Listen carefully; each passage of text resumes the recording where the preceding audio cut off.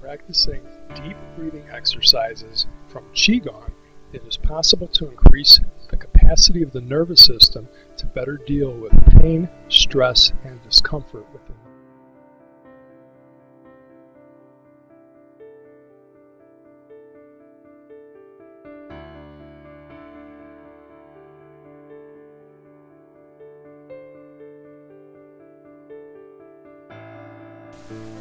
The nervous system is encapsulated by eight extraordinary energy meridians.